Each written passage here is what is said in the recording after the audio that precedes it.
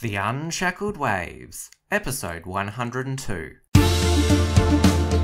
Broadcasting from Melbourne, Australia, this is The Unshackled Waves with Tim Wills, brought to you by theunshackled.net.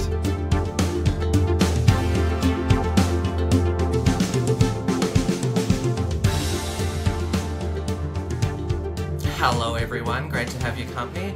This week we finally had an end to one of Australian politics' longest running sagas, that being the same sex marriage issue, with the people overwhelmingly voting yes in the postal survey.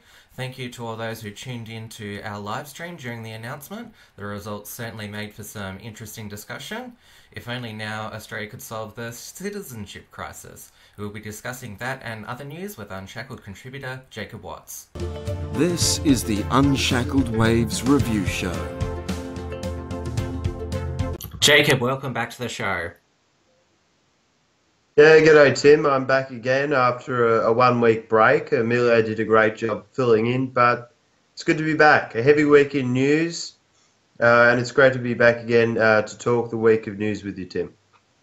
And the uh, biggest story of the week was obviously uh, same sex marriage. We got the results of the marriage survey. Now, I'm actually uh, glad for once to be able to talk about this issue, mainly because uh, of the fact that it's now finally resolved, and it actually is a bit of a break from talking about the citizenship saga, which is just ongoing and getting more bizarre by the week. Yeah, well, the citizenship saga uh, is a nuanced debate, very interesting. Uh, John Alexander just found out today that he didn't even have to renounce, but um, certainly good uh, to get this marriage survey over and done with. Uh, many complexities, many nuances to it, and obviously one of the interesting things here, Tim, is uh, Labor electorates, Tony Burke's electorate, electorate, you know, resoundingly voting no, uh, and then these Labor MPs aren't going to respect their constituency in the House. So that's just uh, another interesting update in this story. Yes, and we'll get to that uh, soon. Uh, but let's have a look at the actual figures. So uh, there was uh, yes responses. There were seven point eight million, which was uh, sixty-one point six percent of the total vote, and no responses were thirty-eight point four percent, which were four 8 million, and the uh, survey had a, a 79% uh, participation rate. So even though it's a voluntary uh, survey, we don't often have voluntary uh, votes in Australia. It was clear that uh, the Australian people wanted to have their say. Uh, on the issue, and it was uh, a decisive result for the yes vote.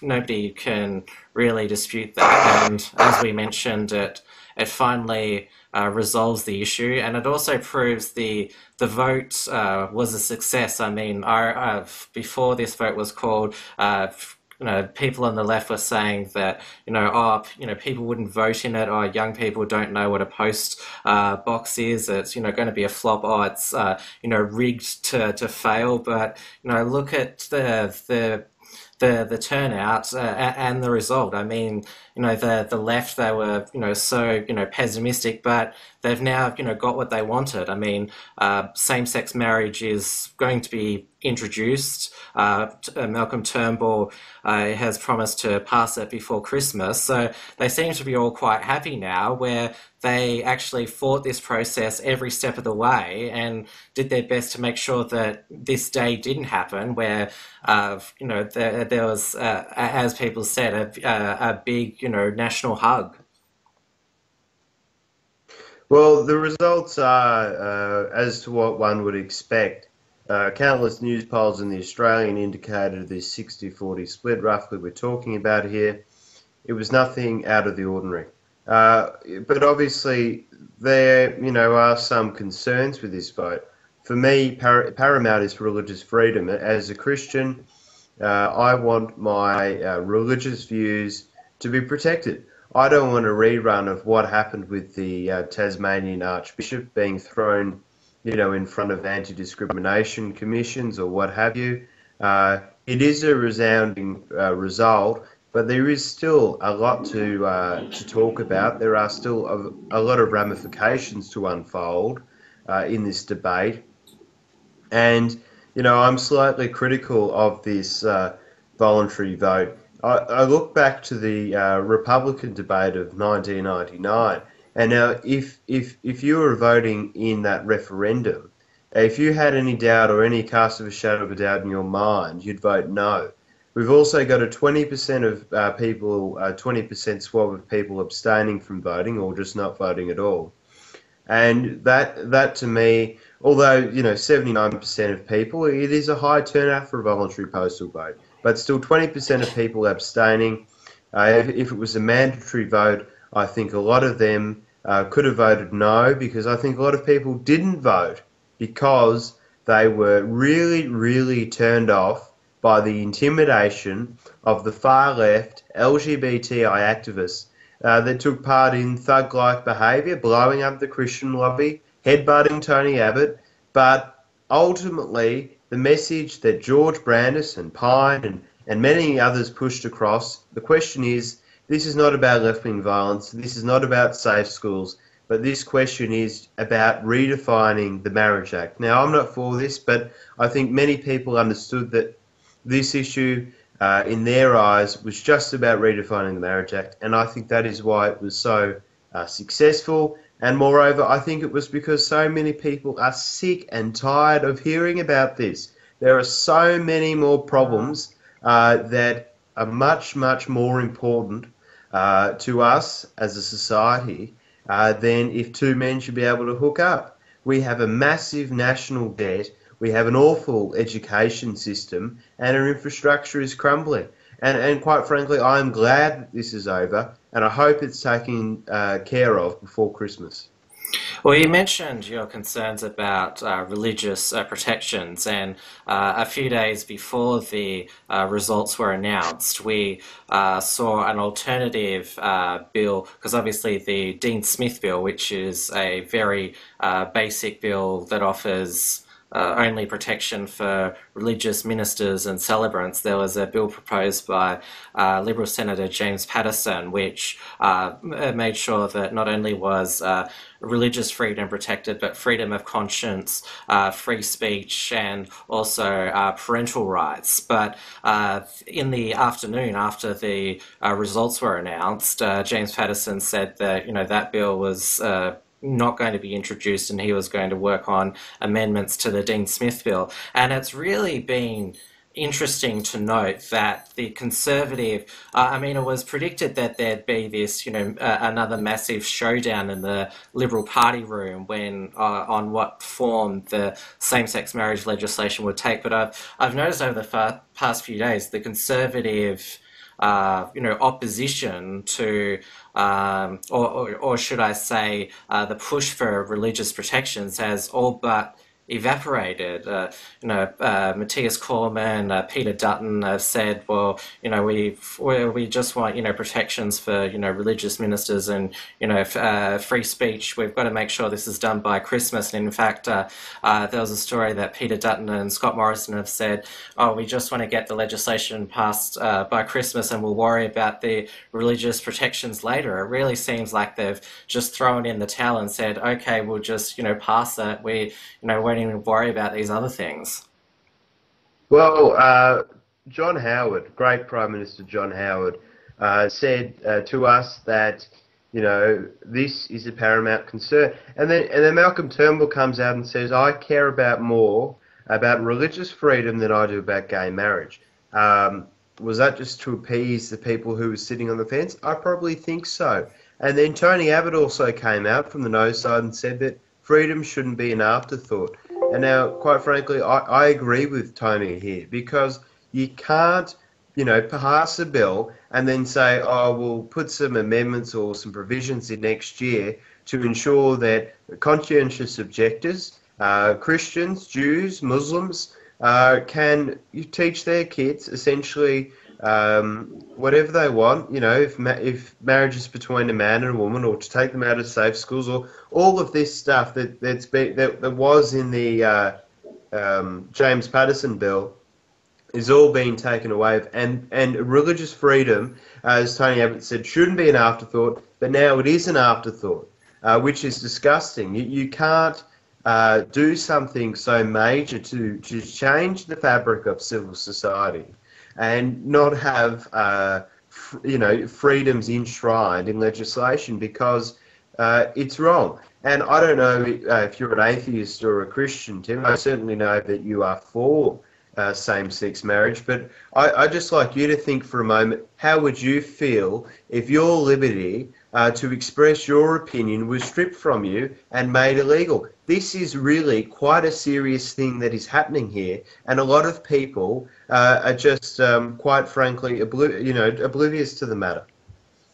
Uh, I think. Well, I'm hopeful that we, you know, will get the free speech protections, and that was the one of the first uh, uh, amendments that you know Brandis uh, said he would move. But like I said, there is this, you know, pressure to uh, get it done by Christmas. Definitely. Uh, uh, it looks like that bakers are going to be forced to, you know, bake the cake. That's uh, you know, there's going to be uh, no no exemptions uh, there, uh, and it, it's it seems like that conservatives are almost you know intimidated by the size of this this uh, result, especially in their their own electorates, and it almost seems like that Turnbull now he he feels that you know he's finally on the front foot. You saw him immediately after the announcement, you know, come out and said, you know, this is you know such a great result. We've got to get up on and do this. I think it was his probably he thought his his best day as prime minister for a while. He's had to deal with uh, train wreck after train wreck. So it's it's it's I, I think I think the well, the, at least the conservatives in uh, Canberra, they're yeah, they've they've certainly taken a a, a backward step, and uh, you know, it's, it, it seems like they they really just want to you know get this done, move uh, move on, and you know, we'll, we might have a discussion about these things later. That is, it's disgusting, really. Turnbull has still lost 23, 23 Newspolls in a row, and he's he's hopping and dancing around here, you know, like he saved the world from Armageddon. He hasn't really done anything. He's been an, an ineffective and hopeless prime minister.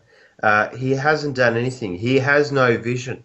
Um, likewise with the deputy prime minister Julia Gillard, you don't know what either of them stand for. They're just um, power hungry uh, members of the intelligentsia uh, who are, you know, just there for the thrill of the ride. They don't have any convictions. They don't have any values. All they're there is to be is popular. Now, what Turnbull has done, he shouldn't be so proud of himself because he hasn't guaranteed the uh, 52% uh, of the community who are Christian uh, their religious uh, liberties he hasn't protected the majority of Australians um, to have uh, their religious freedom, uh, which is disgusting in my eyes. But uh, interestingly enough, he's gallied about it, and he doesn't really seem to care one iota about the um, religious freedom aspect. Previously said he was uh, it was much more important for him to have religious freedom than to have gay marriage. But now it just seems to have have gay marriage before Christmas because do you know what would be a really sweet Christmas present for me at Kirribilli House? It would be to have a win at the news poll. That's all Malcolm Turnbull cares about. He's phony, he's fake, and he's just there uh, for some sense of uh, self, you know, uh, promotion, and and he just wants to get on the front foot. I don't really think he even cares about gay marriage, to be honest with you. Uh, what does this also mean for the the no side now? Because uh, there's you know there's a lot of um, you know news commentary trying to you know sink the boot into you know the the Christian lobby and say you know look how look how much of a you know minority uh, you are now. Does do do they still you know fight on because um, I felt that they made a mistake, uh, you know, by you know putting issues such as you know uh, safe schools and gender fluidity into the uh, into the mix because now uh, you know the uh, LGBT lobby they're going to say, "Ha, well, this is a mandate for you know safe schools and uh, all this other stuff," which I I, I still think that um, you know pr- programs such as this and other excesses of the LGBT agenda can be opposed, but it's it's certainly going to be harder. Yeah, I, I think um, personally, um, I am a member of the Australian Christian Lobby. Uh, I don't agree with all of their uh, agenda, nor nor should anyone agree with. I the reason why I joined is because I want religious liberties protected. I'm not for everything they do uh, necessarily, maybe only a handful of things they do, but definitely I'm really for safeguarding uh, religious liberty. And I think that in a sense, uh, they have made it harder for people to obtain uh, religious liberty here uh, because they've conflated, uh, say, um, same-sex marriage with safe schools. Now, these are safe schools is terrible. Don't get me wrong, but I don't think. Um, the, I think it was a bit of a nefarious connection to say that uh, you legalise same-sex marriage, it gives safe schools legal authority. I think that put a lot of people off. And now all that I think it's done is made it harder for parents to eventually have the opportunity, eventually have the freedom to opt out of uh, a radical, um, you know, sexual sex education program that doesn't really, uh, if we'll be honest here, uh, it, it's not really on on the same level of, of what many Australians think. Many Australians don't think that gender is a choice. Uh, many Australians are smart yet pragmatic people that realise that you know basic science and biology do exist, and that gender is not a choice. And now I think that doing this, uh, alleviating that, you know, conflating the two, eventually will make it harder to get rid of uh, programs like Safe Schools in the future. And I do agree with your analysis on that point. Um, but yes, uh, we all need to be careful. Uh, and as Benjamin Franklin said, the price of freedom is eternal vigilance. And uh, I think that that's what we need here to make sure that this same sex marriage bill, if and when it is passed, which I think is highly probable, uh, is not uh, a Trojan horse uh, for totalitarianism or uh, the radical gender ideology that might be squeezed through with it. Looking at the results of the postal survey in uh, more detail offered some interesting analysis into the makeup of Australia. So there were only uh, 17 out of 150 electorates that voted no, but uh, 12 of those were in Western Sydney, and nine of those uh, seats are held by Labor. And I immediately picked up on the fact, and so did everyone else, that uh, these electorates have uh, large migrant populations, which uh, we already knew were largely opposed to uh, same-sex marriage. And so it's you know even though the the left they were all celebrating yesterday, they, I'm not sure if it's dawned on them that their utopian vision of you know a multicultural society along with you know LGBT rights uh, has been shattered with the uh, results of this survey. Yes, um, for me, uh, being a believer in intersectionality, it makes perfect sense to uh, import. I'd probably say half a million Muslims a year uh, into the country. I'd probably get them all from Iran and Saudi Arabia, and I think this will work really well you know, with our loud and proud gay community. I think these um, migrant communities that love to hang and stone gays will really just love uh, the opportunity. No, it's silly. Uh, you look at this and you see clearly that uh, there is a lack of tolerance uh, with many, uh, let's say, you said migrant, I'll say Muslim. I don't care uh, what the ramifications of saying that is. Muslims are the most socially conservative group in the country. Now, you can look to the most Catholic, one of the most Catholic electorates in the country, the Mallee. Okay, it's about a 75% Christian, uh, nearly 80, highly conservative. They still voted 52% yes. Now, you look at some of these Muslim, uh, large Muslim minority electorates. Um, some of them were in excess of 70%. Um, and this shows that, uh, that, that, there's a clash of worlds here uh, between this utopian multicultural society uh, that the left uh, wants to produce uh, and these inclusive values. Uh, they don't. Um, they don't work. There's no cohesion between the two. you can either have you know, in accepting society that has a single culture, or you can have, you know, um, bigots and racists, uh, all this. Um, you, you can't have two. I think you, you, you to actually have a progressive society, you have to have a homogenous society, uh, and that's shown there. Um, yeah.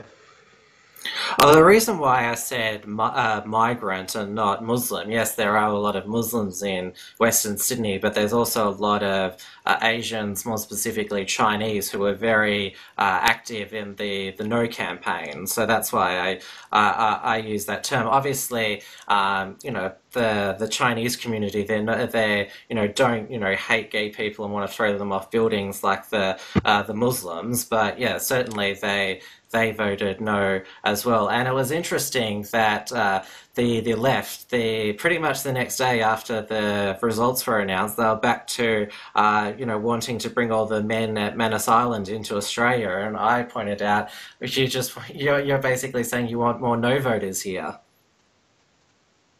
Yes, um, this this is a rare time, Tim, when I acknowledge the um, the apparent greatness of Islam because I don't mean that. Sorry. Uh, they they do in a sense. Most Islamic people, most Muslims, they don't tolerate the the degeneracy that is promoted by the LGBTIQA uh, radical Marxist left uh, and the safe schools mob. They you know they stick up for family values largely. They believe in the um, the marriage and how it's a sacred institution, man, woman, family. This is all very important. I think that a lot of this, um, this yes side, uh, is well, well and good la di da, but I think it's going to ultimately end up in more state worship. But yes, uh, voting no, interesting. You get Labor voters, but you also at the same time get more of a socially conservative uh, family values based society if you are bringing in Asians, if you are bringing in Middle Easterns. Uh, there's obviously a lot of problems, crime and whatever that will come in, but family values uh, less. But but at the same time, what the irony is with this family values is yes, we love family. Yes, we love to be socially conservative, but also at the same time, we are dependent on the state. Uh, so it is a big argument. That's why they vote Labor is because they, they want to have their cake and eat it. They want to be uh, family values, but they also want all the goodies, all the chocolates coming in from the government. But um, it, but it is funny. Uh, this we're seeing a lot of uh, The, uh, John Anderson, the uh, former deputy prime minister, Nationals leader, said that we don't really have left and right. You were saying the left, the left, the left. We love to talk about the left, but I think at the moment what we have is people who care about facts, who care about logic, and those who care about idealism and feeling. And, and obviously, those two worlds clash when you see the results uh, in electorates such as Tony Burke's. And uh, they also know the LGBT lobby uh, know who to thank for, you know, the resounding uh, yes victory, and that's the white people of Australia who are, you know, constantly demonized uh, all the time because it was, it was all the uh, electorates, we've had a majority white population that uh, had the strongest yes votes, which included, as you mentioned before, uh, rural and regional Australia. There were only three uh, rural electorates in uh, Queensland that voted no. Uh, in our home state of Victoria, all the rural and regional electorates voted yes. So you know, to to the left, you know, they're you know these so-called you know uh, uh, country you know rednecks. They're actually you know not as bad as uh, what you were making them out to be, and perhaps you should thank them. So, what are you saying, Tim? This is a victory for uh, white supremacy and white power.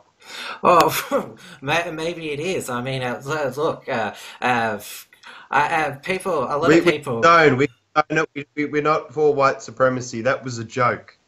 But it, but it's a, it's an ironic thing that the, the fact that this was a victory brought about because you know white people made it happen, and it, and people said that oh this could be like uh, Brexit and Trump. Uh, well, it was like Brexit and Trump in that white people voted for Brexit and Trump, but they also voted for same-sex marriage. Yeah, Tim, you know, it's an interesting one. If two blokes want to hook up with each other, you know, they should be just be left to it, I reckon. Um, yeah, that's why us country fellas uh, voted yes. Uh, I, I, also made the uh, joke that perhaps uh, the, if they ever remade uh, Priscilla, Queen of the Desert, they might need to go to Western Sydney instead. yes, you get uh, Muhammad and Ahmed to do it. so it's it, it was because we've if you look at the seats and it was more Labor seats that voted no, and 71 of the 76 coalition seats voted yes, which uh, it, it, it does put the, these Labor MPs such as Tony Burke, Jason Clare, uh, and uh, Chris Bowen in an awkward position, but it has the same effect on coalition MPs as well. I, mean, everyone was, you know, quick to point out, you know, Tony Abbott's electorate voted overwhelmingly yes. So did, you know, Kevin Andrews, Peter Dutton, uh, Andrew Hastie. So uh, this result, it has turned, you know, people's political perce- perceptions, you know, upside down. It is interesting, but also there's there's another uh, thing here, is we've got a conscience vote on one hand, but it, how does our democracy work? Do we have a Burkean type democracy where the electorates vote the MPs in to um, out their views in the parliament, or do we have a you know a Montesquieu uh, French Revolution uh, direct uh, democracy type uh, thing happening here, where what happens with the electorates, their direct voices are represented in parliament. So there's an interesting thing. I, I, I don't reckon that Tony Burke, uh, Labor frontbencher, will be voting no. Even though the majority, 70% almost, I think, of his electorate voted no. He'll be voting yes. Uh, that shows how much uh, hypocrites Labor are. They just use these migrants, and I think they've openly admitted at times. Andrew Bolt, uh, Andrew Bolt, uh, Mark Latham uh, mentioned that on Andrew Bolt, that they use migrants as political props. And at the end of the day, they don't really give two hoots about the migrants as long as they're voting Labor, they're voting for bigger government, and they're voting for the welfare state. Ultimately, Labor does not care. This false dichotomy that the left cares is bullshit. They just use migrants, and we're seeing that here. Uh, whilst the right, on the other hand, wants a, you know, a ladder of opportunity where migrants can start small businesses, where migrants uh, can be proud and industrious Australians. And, and I think this, this is just a clear representation of what the two parties stand for. Uh, it is disgusting, really. Well, it'll be interesting because uh, given that how they've all said they'll they'll vote yes, whether uh, you know there's any consequences for the at the next election because there there might it might be you know a few uh, conservatives in the Liberal Party or um, Australian conservatives who might be eyeing off those seats. Yeah, I, I think that um, the right uh, could uh, potentially swoop into Western Sydney. They could look at these um, these changes here, especially in Western Sydney, being and the, and uh, Tony Abbott, I believe, won a few seats around the west of Sydney as well. That you know, Tony Straighties they were referred to, you know, socially conservative family men who didn't really give pay much attention to uh, economics per se, but they just wanted the social fabric of Australia, the traditions, the institutions retained. They wanted to stop the march through the institutions uh, that the radical left is promoting, and I think that uh, we do uh, we do have some thorough breeding ground, us uh, right wingers, us conservatives, us libertarians, in the west of Sydney after seeing this result we just need to realise uh, what what we need to say. We need to tailor it a bit better, and we need we need to espouse our family values um, uh, campaigning in these areas. And I think that we could, uh, as uh, people of the right, uh, pick up quite a lot of seats in these areas. And it could be just showing, a, you know, a gradual maybe uh, shift in our uh, political and cultural landscape as well, as we expected, say, the regions to be the most conservative. In fact, they were the most liberal. Uh, Shazza and Dazza voted yes, um, whilst the inner city sophisticates uh, in the multicultural havens voted no. So it is interesting.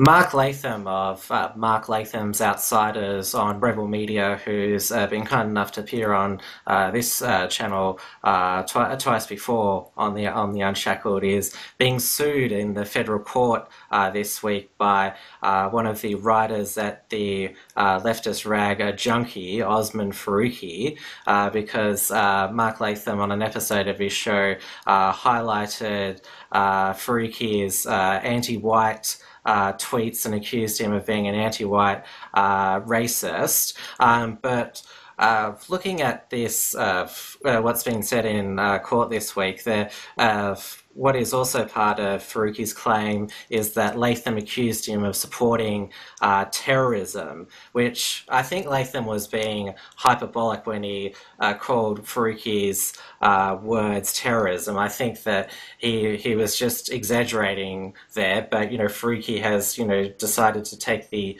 most uh, offended uh, course of action here, and so that's why this matter is uh, before the courts. Now, Mark Latham claims that this is simply uh, lawfare, as it's known, designed to uh, destroy his media platform. He's been running a uh, donation campaign, standwithlatham.com, uh, which I don't mind giving a plug uh, here here on the uh, Unshackled, and it's it once again proves how you know the the left uh, you know, do not like free speech, and you know, if they can find a way to shut down their critics, they will.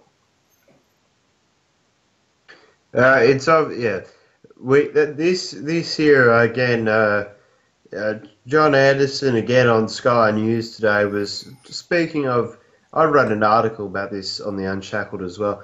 Our need for a Bill of Rights because if Latham uh, as a as a commentator, as a political commentator, as a public figure, um, doesn't have the right to free speech, then what makes uh, you think, uh, as a citizen, that uh, you have the right? Because you could easily be uh, a victim of lawfare just as much as Mark Latham would be.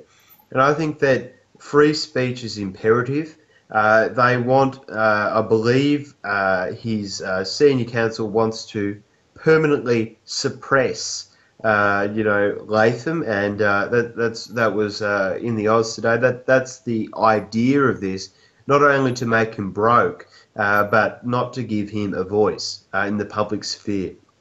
And it just shows you, really, it just shows one that the arguments of the left, the arguments of uh, you know, a, a, junk, a junk website like Junkee, um, are so weak, are so pathetic that they have to take a man like Mark Latham to court. They can't beat him in the John Stuart Mill free market of ideas, but instead they take this man to court um, to es- essentially uh, financially bleed him. Uh, but uh, they're happy to do that because let's be frank, they don't have the ideas, they don't have the facts, and um, they, they, don't have the wave of support that Mark Latham does.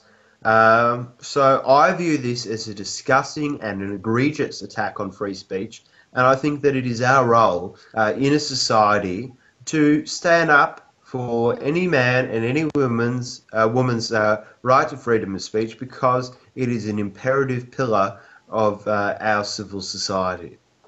Well, if you look at Faruqi's you know Twitter account, he definitely takes glee in uh, when you know what he views as you know bad things happening to white people. He's tweeted like, uh, you know, I deliberately don't you know hold the door open for uh, you know white people. Like, like it's really like if you replace like white with you know something else, then you know people would conclude you're you know being racist.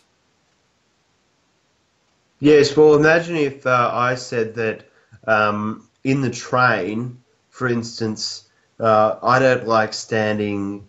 Uh, I, I, you know, I wouldn't give up my seat for, you know, uh, you know, a black lady with her baby. How awful does that sound? How, you know, what kind of statement, you know, does that make? How, how does that reflect, you know, one's humanity?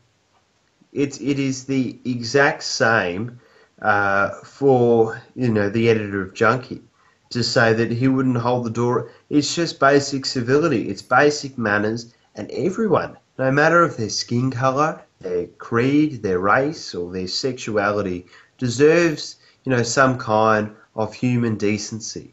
Um, and this whole uh, doctrine of intersectionality, identity politics, you know, makes the white man out to be the enemy. Um, but I view this as very, very, very similar to what happened in, say, Germany in the 1930s or 40s. And now I don't use this uh, lightly, but the, the rampant anti Semitism uh, that existed throughout Europe, especially Germany during this period, were the Jews. The Jews uh, were banned, uh, well, so essentially, uh, sorry, not banned, but were uh, lambasted. Uh, you know, over their apparent, uh, you know, involvement in everything. they were blamed for everything. the reason why the German wasn't going well in the 1930s and 40s was because of the Jew. Now, I view this as very similar. The radical intersectional left says that their failure, you know, to get off the couch and get a job is because of the white man holding them back.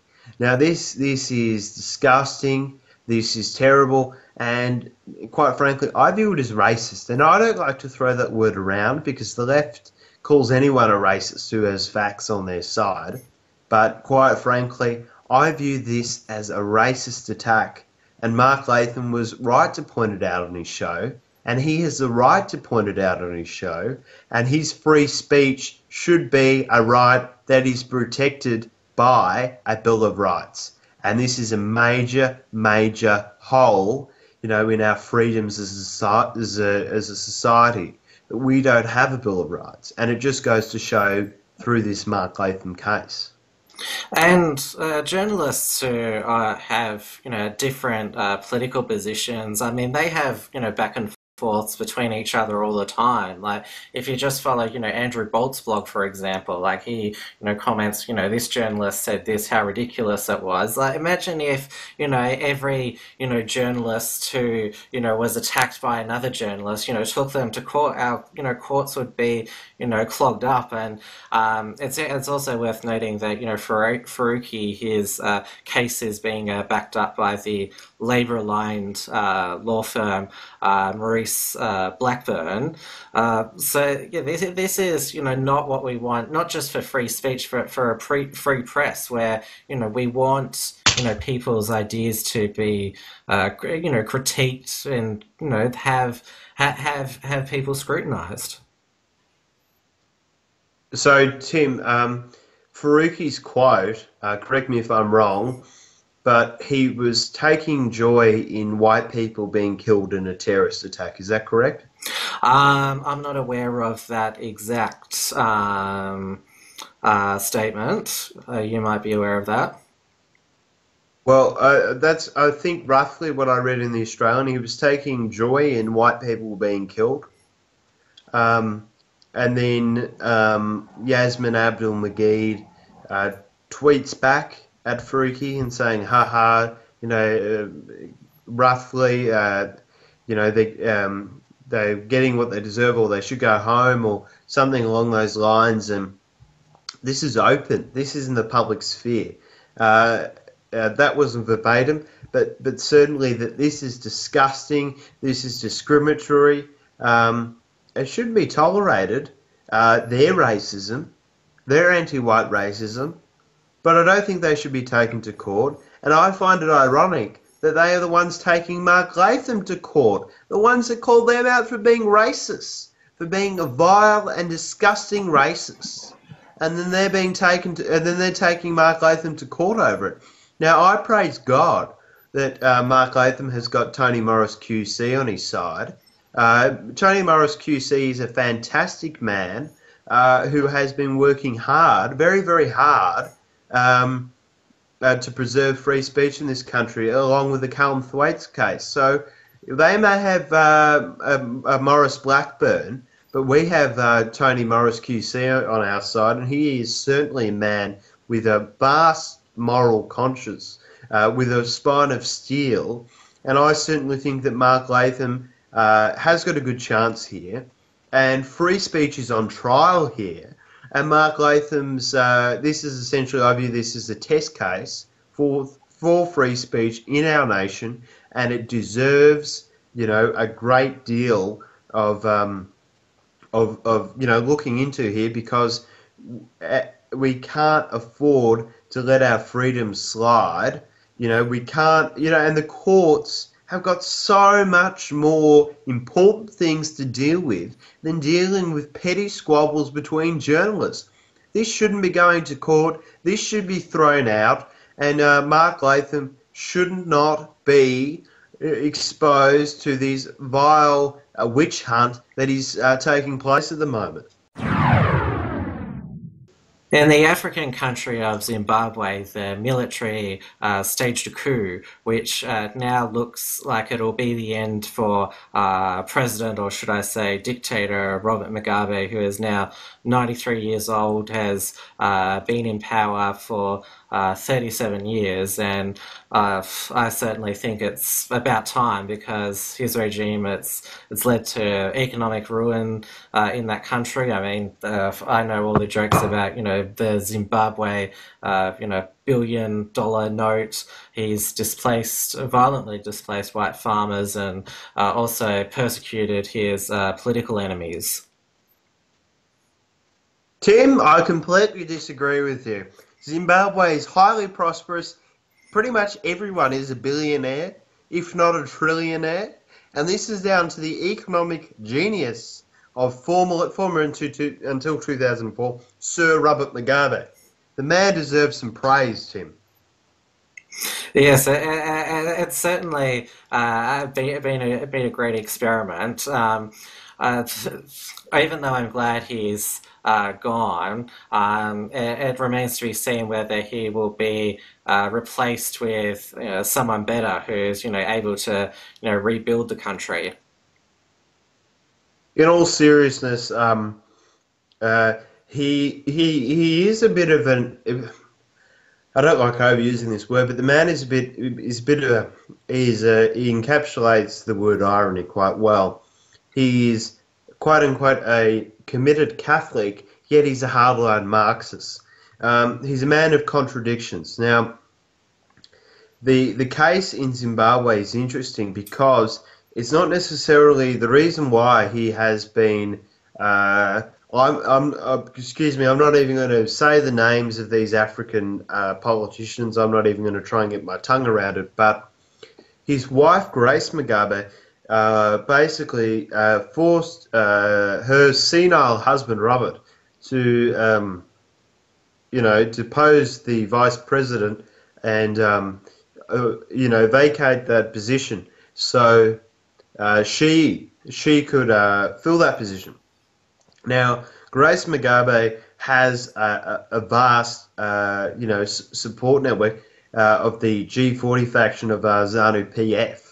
Uh, the ruling party of Zimbabwe. Uh, so that was her uh, modus operandi. There was to depose uh, the vice president and to open that position for her. And as Robert would assume would die in the next couple of years, being 94, she would fill that position. Pardon me, and you would get almost a Kim dynasty in Africa. Now, the Mugabe opponents uh, thought that this was a step too far. They didn't mind kind of Robert being the figurehead of ZANU PF, um, but they wouldn't have uh, Grace Mugabe uh, filling in uh, there. And that's interesting.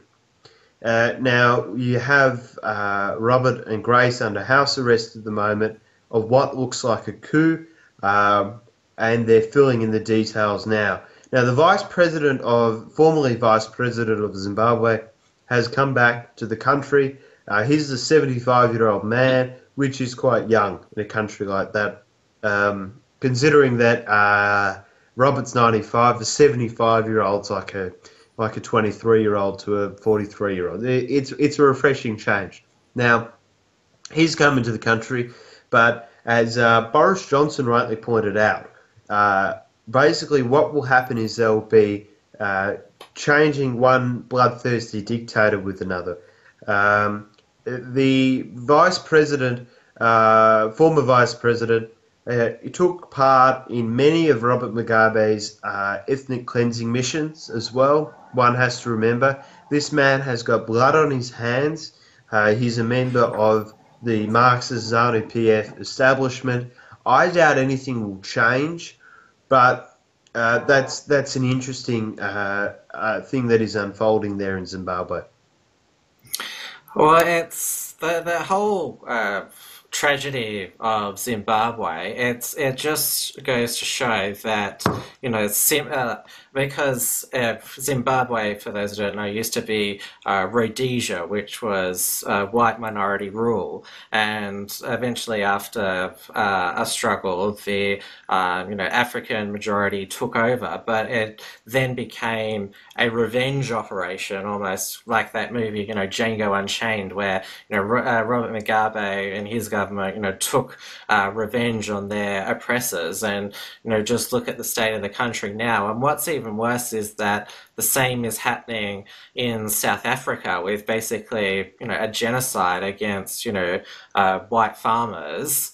And you're seeing the same thing play out there. And, and it's, it, it, it really, you know, it, it is a tragedy that, uh, you know, these, you know, two nations in Africa aren't, you know, able to, you know, overcome, you know, previous uh, injustices you know, coming out on top? I don't really think it's as simple as that, uh, because uh, a lot of the fighting that happened in Zimbabwe, for instance, and even South Africa, there was uh, these black liberation fronts were proxies in the Cold War. Uh, you look back, uh, there was an Angola uh, war there that Zimbabwe fought in against Angola uh, quote unquote, another black liberation effort to uh, rid the country of Portuguese. But in reality, it was uh, communist proxies of the Soviet Union, and uh, and then they put in their despots of Mugabe or whatever in charge, and it was just a kind of a geopolitical bonanza. Now, uh, you look at South Africa; it is a mess. the The ANC, uh, more or less now, is pretty much, I would say, rigging elections as well. Uh, ZANU PF have obviously been rigging elections for a long time now.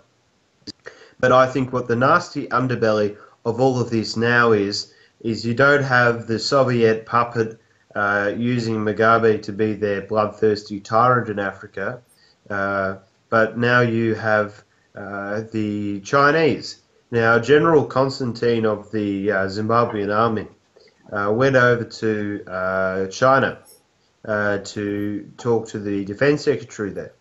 He comes back, and guess who is deposed of the presidency? Robert Mugabe. So, not only um, uh, plenty of people thinking that this uh, coup has a lot to do with uh, Grace Mugabe's thirst for power, but a lot of people also think uh, China's behind this.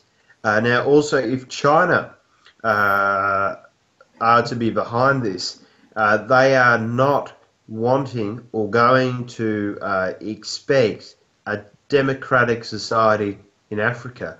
More importantly, in in uh, Zimbabwe.